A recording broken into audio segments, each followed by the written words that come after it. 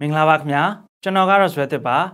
DPP ရုံးမြင့်တန်ကြားရဲ့နောက်ဆုံးရရှိထားတဲ့သတင်းတွေကိုတင်ဆက်ပေးတော့မှာပါမြန်မာနိုင်ငံဝါပြည်နယ်ထိစပ်နေတဲ့နယ်စပ်ဂိတ်တချို့ကိုတရုတ်နိုင်ငံဘက်ကပိတ်ထားတာကြောင့်ဝါဒေတာမှာရှိတဲ့ဟိုပန်မြို့မှာအခြေခံစားတောက်ကုန်စည်နှုန်းတွေမြင့်တက်နေတယ်လို့ဒေသခံတွေကပြောပါတယ်ခွန်စောပြပို့ထားပါတယ်ခင်ဗျာ မြန်မာတရုတ်နှစ်နိုင်ငံနယ်စပ်ရှမ်းပြည်နယ်မြောက်ပိုင်းတွင်ကဝါပြည်နယ်ထိစပ်နေတဲ့နယ်စပ်ဖြတ်တန်းဂိတ်တချို့ကိုတရုတ်ဘက်ကပိတ်ထားတာတပတ်လောက်ရှိနေပါပြီ။ဒါကြောင့်ဝါဒေတာမှာရှိတဲ့ဟိုပန်မြို့မှာအခြေခံစားတောက်ကုန်စည်နှုန်းတွေမြင့်တက်နေတယ်လို့ဒေသခံတွေကပြောပါတယ်။ အရင်တော့ဆိုကျမတို့ဒီဟိုပန်တို့ကွန်လုံပန်လုံဆိုရင်ကျန်တဲ့နေရာကနေစားတော့ကိုမရအောင်လေအဲ့ဒီနမ်တစ်ကနေတရုတ်တရုတ်ဖက်ကနေပဲရတာအခုကအဲ့ဒါပိတ်လိုက်တော့ဘဲကနေမှယူလို့မရတော့ဖြစ်နေတာအဲ့လိုမျိုးပေါ့ခီအားတစ်ခုကြောင်းနေမှာပေါ့ဟိုပန်မြို့ဟာ10-20ခုစစ်စင်ရေးကြာမှမဟာမိတ်တပ်တွေကတင်ပိုက်ပြီး URSA ဝတ်တပ်ဖွဲ့ကိုလွှဲအပ်ခဲ့တာပါဟိုပန်မြို့ကိုဝတ်တပ်ကမအုပ်ချုပ်ခင်ကမြန်မာကြက်ငွေကိုသာအဓိကအသုံးပြုခဲ့ပြီးလက်ရှိမှာတော့တရုတ်ယွမ်ငွေကိုအဓိကထားက ကုန်စည်နှုန်းတွေကိုတွက်ချက်နေတာကြောင့်အခြေခံစားတောက်ကုန်စည်နှုန်းတွေမြင့်တက်နေရတဲ့အကြောင်းရင်းတွေကတစ်ခုဖြစ်တယ်လို့ဆိုပါတယ်။ဟိုပန်မာအားလုံးကတရုတ်ငွေနဲ့တွက်ပြီးပြောကုန်ပြီလေအဲ့တော့နန်းနန်းပင်တစည်းကို1000 2000ဖြစ်သွားပြီကွာမုံညင်းတောင်တပိတ်တာ1000ပေးဝယ်စားရတဲ့ခုဟိုပန်မှာဝပြည်ရဲ့မြို့တော်ပန်ဆန်းမှာနေထိုင်သူတဦးကတော့မြန်မာတရုတ်နယ်စပ်ကကြားဖြန်တဲ့လောင်စားရုံတွေဖမ်းဆီးပြီးနောက်ပိုင်းပန်ဆန်းမြို့မှာ လူစီကားမှုသိမ်းမရှိတော့ပေမဲ့ကုန်စည်နှုန်းကတော့တိတိတတာတက်သွားတာမရှိဘူးလို့ဆိုပါတယ်။ပန်ဆန်းမှာကြားချန်နေဖမ်းပြီးကြတဲ့ရင်လူတွေကအိမ်စီရော၆ကက်ကက်ဖြစ်လာတယ်။ဂိတ်တွေပိတ်တယ်ဆိုရင်လည်းကုန်စည်နှုန်းတွေက အရင်ကြီးတော့တက်သွားတာတော့မရှိပါဘူး။တရုတ်အစိုးရနဲ့အာဏာသိမ်းစစ်ကောင်စီတပ်ရဲ့ခေါင်းဆောင်ပိုင်းတွေတွဲဆုံပြီးနောက်ပိုင်းတရုတ်ဘက်ကမြန်မာတရုတ်နယ်စပ်ဂိတ်တချို့ကိုဖျက်ဆီးငွေပိတ်လိုက်တဲ့အပြင်နေဆက်စီးမြင်းနီးမှာလည်းတိုက်ခိုက်ရေးရဟန်းရင်တွေတင်ကားတွေနဲ့စီရေးပြတာတွေနဲ့စီရေးလေးကျင်တာတွေပြုလုပ်ခဲ့ပါတယ်ကျွန်တော်ခွန်စောဦးပါ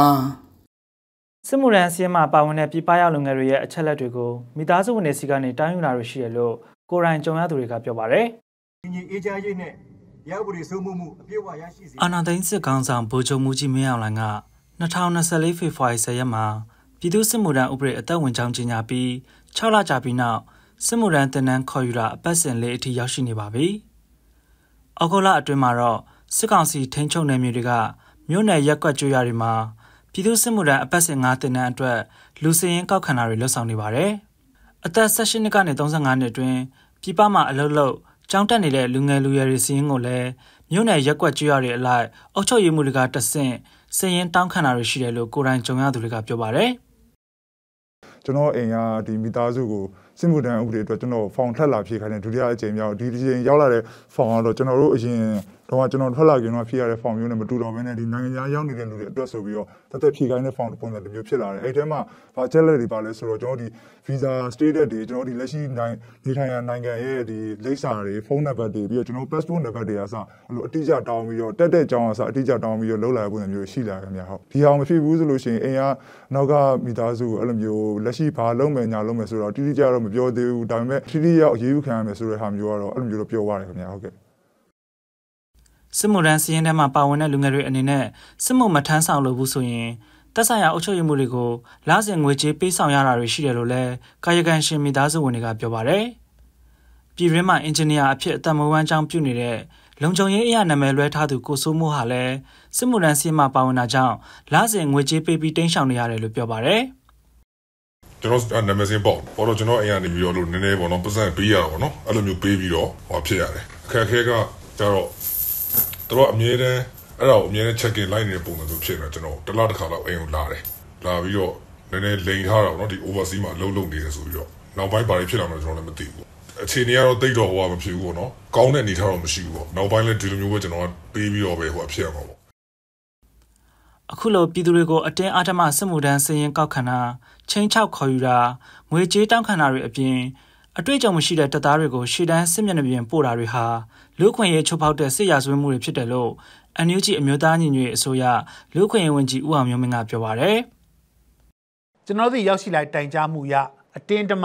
စတင်ပြီးတော့စည်ရင်ကောက်တာတွေချင်းချောက်တာတွေငွေတောင်းခံမှုတွေစဖြစ်လာပြီဒါတွေမကဘဲနဲ့တချို့နေရာမှာမင်းနှိုက်ပြီးတော့ပို့ရတဲ့အရာတွေရှိလာတယ်တချို့နေရာမှာအတင်းကျပ်ဖန်ဆီးခေါ်ဆောင်မှုတွေကျွန်တော်တွေ့ရတယ် တစ်ချိန်တည်းမှာပဲအခုဆိုရင်ဖန်ဆီးသွားတဲ့တချို့စစ်တပ်ထဲရောက်သွားတဲ့သူတွေကိုဖုတ်ပူမိတိုက်စစ်ပညာသင်ပေးပြီးတော့အခုဆိုရင်ကျွန်တော်တို့ဒီရခိုင်ဘက်မှာတိုက်ခိုင်းနေတဲ့ဟာတွေတိုက်ခိုင်းတဲ့တုန်းကစစ်ရေးတွေ့ကြုံမရှိဘာမှလေ့ကျင့်မှုမရှိတဲ့အတွက်တေဆုံးမှုတွေဖြစ်နေတဲ့ရိုဟင်ဂျာတွေရဲ့ဖြစ်ဖြစ်လဲကျွန်တော်ကြားပါတယ်အဲ့တော့ဒါကပထမဆုံးဖြစ်လာတဲ့ချက်ချင်းကြုံတွေ့ရတဲ့လူခွေချိုးဖောက်မှုပေါ့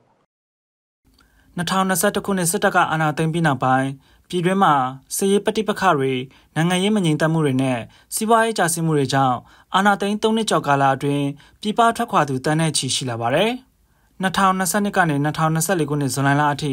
နေဆက်ထွက်ပေါက်တွေအပါအဝင်ပြည်ပနိုင်ငံတွေစီတွားရောက်တဲ့ခမန်းလူရေးဟာ1.3တန်းနီးပါးရှိတယ်လို့စစ်ကောင်စီလက်အောက်ခံလူဝင်မှုကြီးကြပ်ရေးနဲ့ပြည်သူ့အင်အားဝန်ကြီးဌာနအချက်လက်တွေကသိရပါဗျ။ကျွန်တော်ဇွဲတစ်ပါ။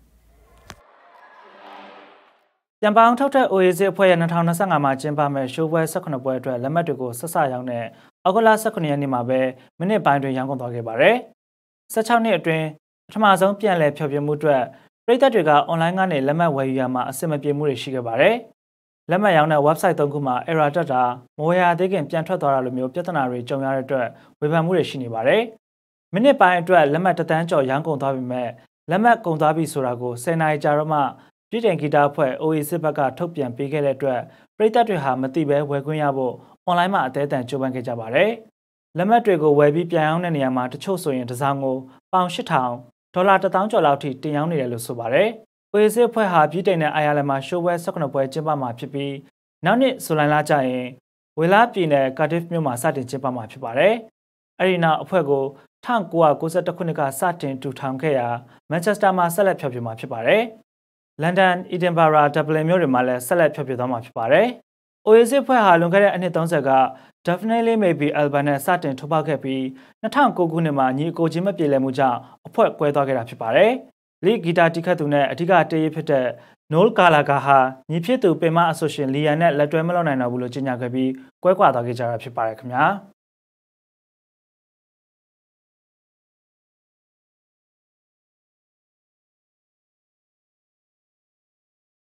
နော်ဝေတော်ဝင်မင်းသမီးမာသာလူးဝစ်ဟာနက်ဆီယာရောင်ရောင်လူလေလို့နာမည်ကြီးတဲ့အမေရိကန်စိတ်ဝိညာဉ်ဂုရုဆိုသူဒူရက်ဗာရတ်နဲ့အောက်ကလာ31ရက်နေ့ကမင်္ဂလာဆောင်ခဲ့ပါတယ်။တော်ဝင်မင်းသမီးနဲ့လင်ကိစ္စအထွတ်ထိပ်ရအောင်လုပ်နည်းဆိုတာမျိုးတွေပါစီစဉ်တင်ဆက်လေးရှိတဲ့ဒူရက်ဟာနော်ဝေမှာတော့နာမည်ဆိုးနဲ့ကြော်ကြားသူဖြစ်ပါတယ်။ကင်ဆာဝေနာရှင်တွေကိုဓက်ကင်ကူတော်လောက်တာဟာဆရာဝန်တွေပတ်စံရအောင်လုပ်တာ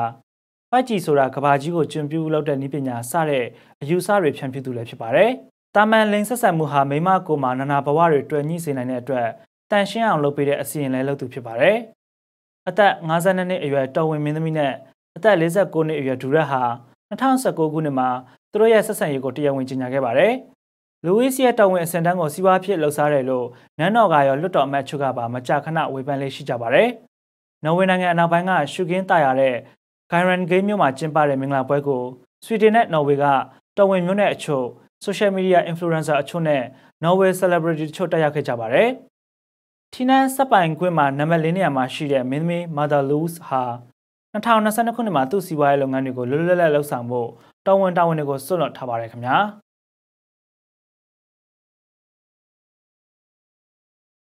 DBB ရုံးမြင့်တန်ကြားရဲ့နောက်ဆုံးရတဲ့တဲ့တွေကိုရှုစားခဲ့ရတာပါကျွန်တော်ကတော့ဇွဲသစ်ပါကျေးဇူးတင်ပါခင်ဗျာ။